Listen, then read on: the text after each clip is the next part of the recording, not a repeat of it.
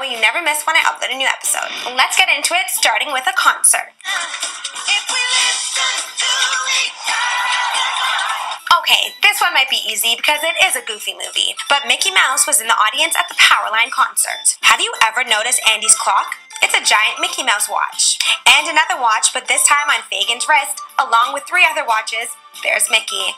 In the bubbles of Cinderella cleaning, there's Mickey in bubble form, Mickey's head and ears. Another time we could say Mickey was formed by bubbles is in The Little Mermaid. Speaking of The Little Mermaid, if you look closely at the contract between Ariel and Ursula, you may see a familiar face drawn in there. Everyone's favorite clock, Cogsworth's footprints make Mickey's head in the snow. While Timon, Pumbaa, and Simba are getting down in some grub, we can spot Mickey's head on the back of another you own a pair of Mickey Mouse pajamas? Well, one of the kids in the real world in Nightmare Before Christmas does.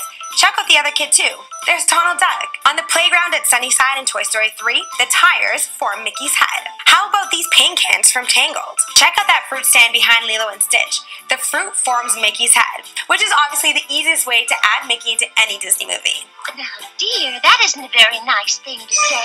And one more, in Sleeping Beauty, one of the fairy godmother's cookies are in the shape of Mickey's head. Alright guys,